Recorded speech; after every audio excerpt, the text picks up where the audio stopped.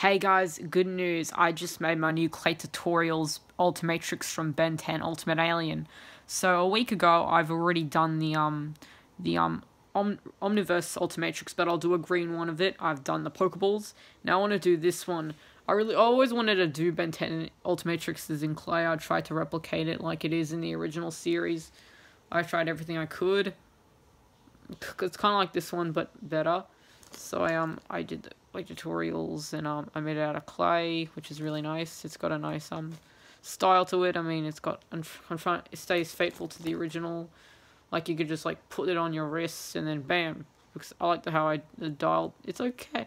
Uh, the dial's alright, and um, I I tried to replicate everything from it. So I have done some features.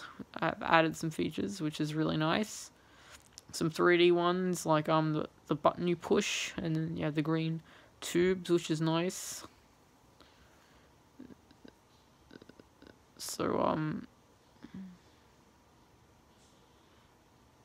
So this looks really nice. I hope um people get to see this online or or um I get more views of this one. And as always, thanks for watching. Feel free to subscribe, share, like and comment.